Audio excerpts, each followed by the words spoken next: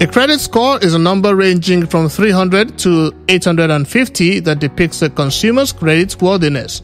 The higher the credit score, the more attractive the borrower.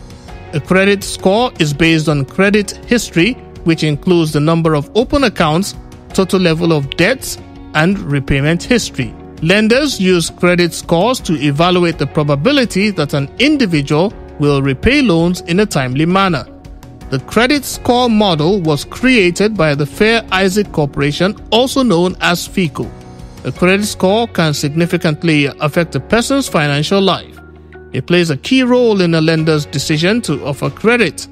People with credit scores below 640, for example, are generally considered to be subprime borrowers.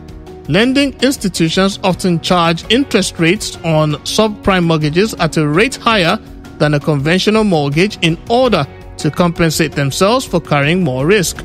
Conversely, a credit score of 700 or above is generally considered good and may result in a borrower receiving a lower interest rate.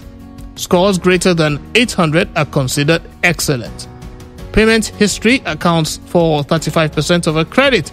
Total amount owed accounts for 30%. Length of credit history accounts for 15%, while the type of credit counts for 10% of a credit score.